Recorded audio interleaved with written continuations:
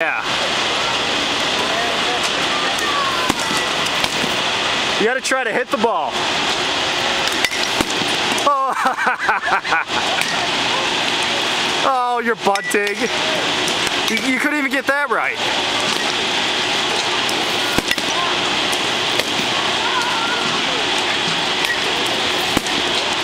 Just give me a foul tip.